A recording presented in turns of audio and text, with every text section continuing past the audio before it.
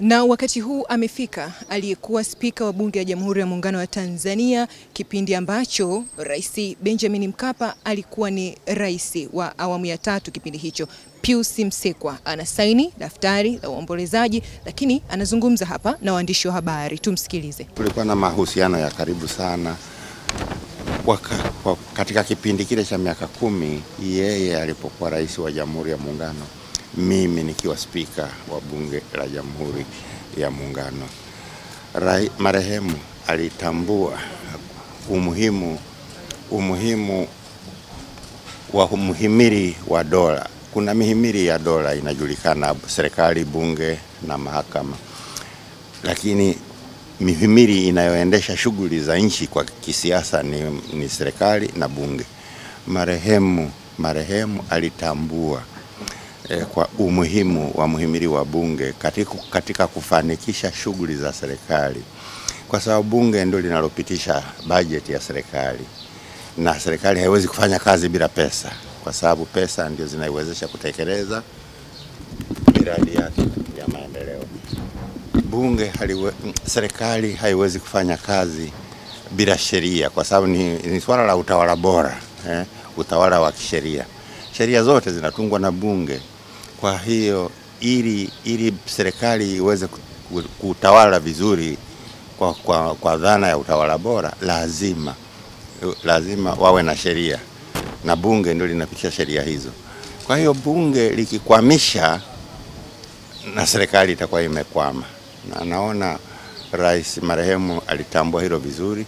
Kwa hiyo akajenga mahusiano mema baina ya mhimili wa bunge na muhimiri wa serikali, na aliwahi kuniambia yeye mwenyewe siku moja, akasema anatambua kwamba kama serikali kama bunge halina mahusiano, maelewano na mahusiano mazuri na serikali, bunge likiamua kukwamisha ku, kuwa na ku, kuikalia vibaya serikali, serikali it, it, itakwama na inaweza hata ikaanguka.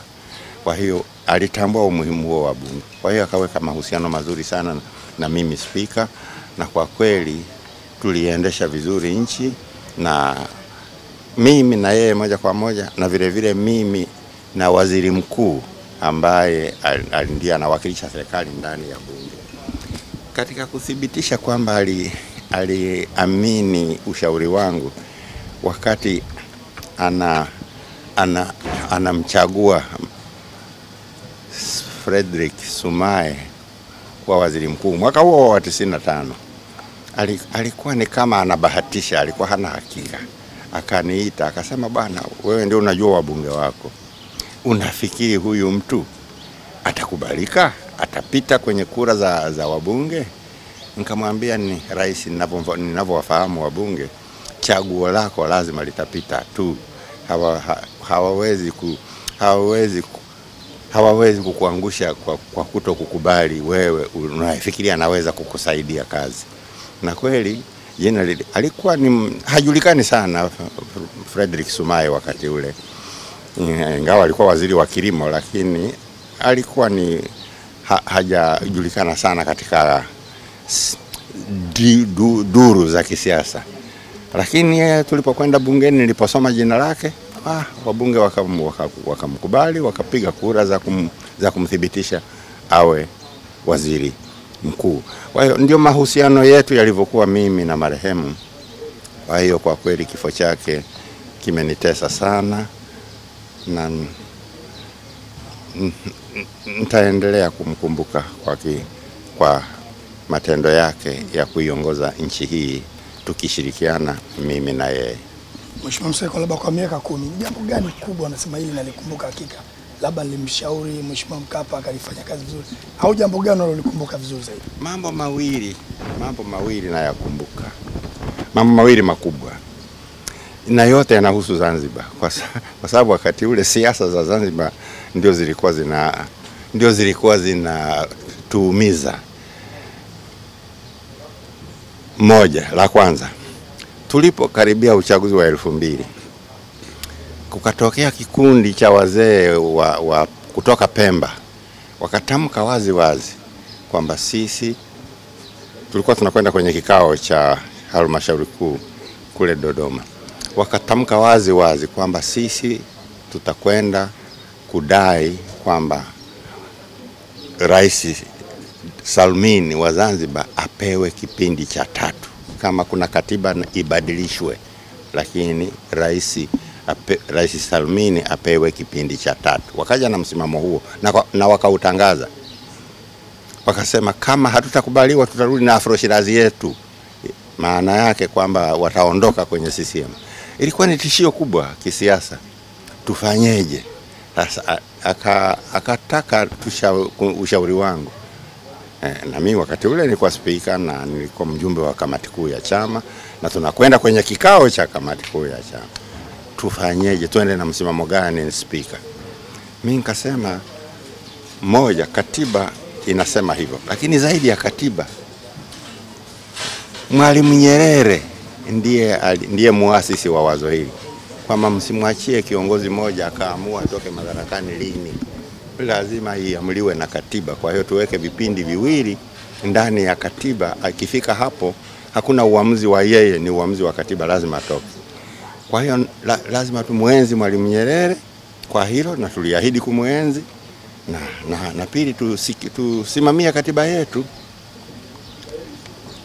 Tukakubaliana hivyo, tunakwenda kwenye kikao na msimamo huo.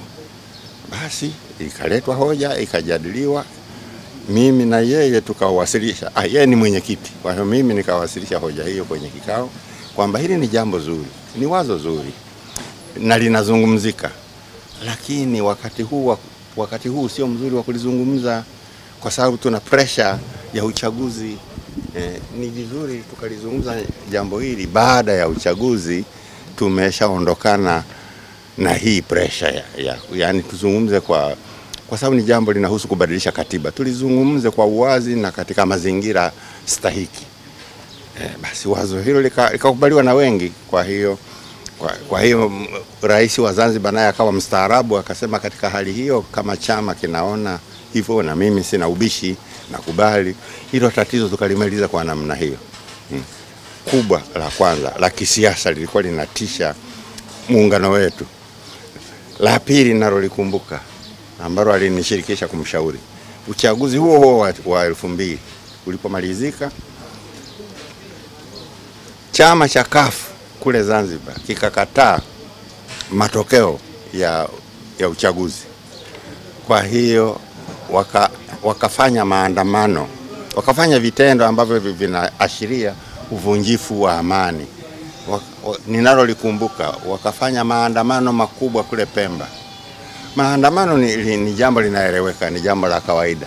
Lisilokuwa la kawaida, maandamano hayo yalisababisha kifo, vifo vya watu, sio mmoja wawili, walikufa, walikufa idadi ya watu siikumbuki, lakini likawa tatizo kubwa la kisiasa na linatishia muungano kwa sababu polisi ndio waliosababisha mambo hayo yatokee, na polisi ni wa muungano, kwa hiyo wako chini ya, ya himaya ya rais wa muungano. Basi ikabidi sasa, siku moja aliporudi tu, wakati ule linatokea, alikuwa nje ya nchi. Aliporudi akasema, Spika, sasa hili tulifanyeje tunapokwenda kwenye vikao?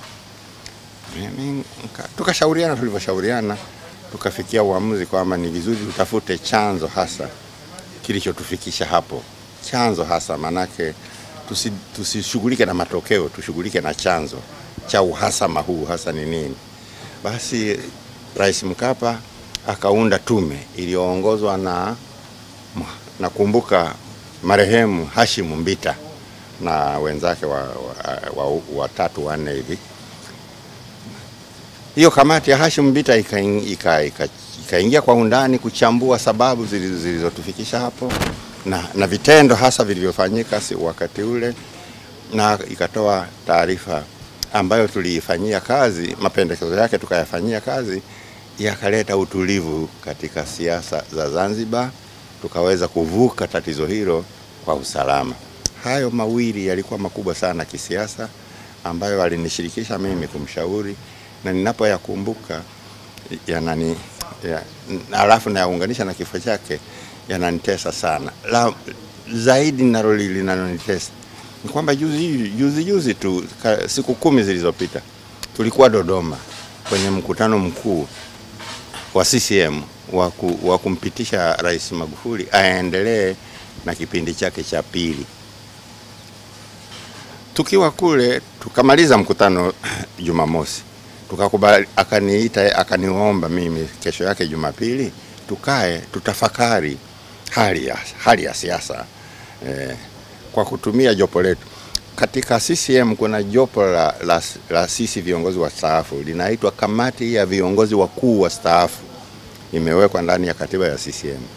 Ni, ni kikao cha marais wote wastaafu ambao walikuwa wenye viti wa CCM wa, wa muungano na wa Zanzibar na wale waliokuwa makamu wenye viti wa CCM, ndio mimi mzee Malechera, ni sisi tuko kwenye jopo hilo. Kwa hiyo huwa tunakutana mara kwa mara kutoa ushauri, lakini ni jopo la ushauri. Kipindi hiki cha cha Magufuli cha miaka mitano hatukuwahi kukutana. Akaniuliza, hili ni jambo zuri, si lazima lazima tuishauri tu- serikali? Nikamwambia mzee Mkapa, sisi ni sisi ni baraza la ushauri, na ushauri huwezi kulazimisha kwa mtu la, lazima mnaye mshauri aombe ushauri yeye mwenyewe, hapo ndio ataweza kuufanyia kazi. Kwa kuwa hajatuomba ushauri, hatuwezi hatuwezi sisi kutunga ushauri tukampelekea na tukategemea kwamba atautekeleza. Anaweza kautupa kapuni. Kwa, kwa hiyo kwa hiyo nafikiri tukubali tu kwamba hapo atakapohitaji ushauri wetu atatuita atatuita, ndio ndivyo tukashauri. Juzi juzi tu hajafika hata siku kumi tunazungumza mambo hayo na mengine tuliyajadili mengi mengi, tukakumbushana na ya uongozi wetu wa wakati ule na sasa leo nastushwa na habari kwamba ni amefariki. Sijasikia alikuwa mgonjwa, yaani imeniuma kweli, lakini ndio kazi ya Mungu, haina makosa. Naam, hivyo ndivyo spika mstaafu Pius Msekwa atakavyomkumbuka Mheshimiwa Benjamin William Mkapa. Bado Dar24 tumeweka kambi hapa katika makazi yake. Nipo na mpiga picha Frank Lison. Jina langu ni Mercy Mbaya, endelea kuwa nasi.